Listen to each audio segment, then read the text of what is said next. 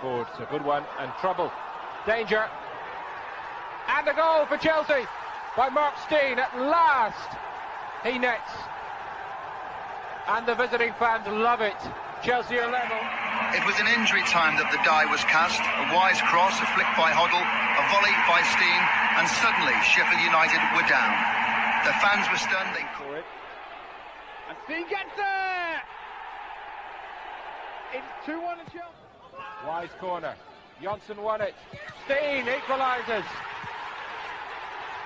2-2.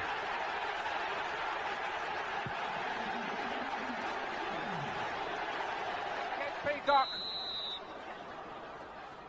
And a dramatic London derby is settled in favour. Last nine games.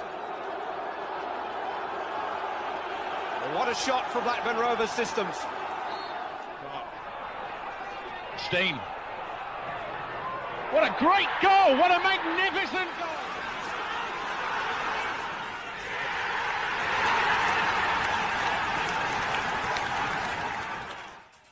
All United finished with was a major rollicking from the boss, Kevin Keegan, not pleased.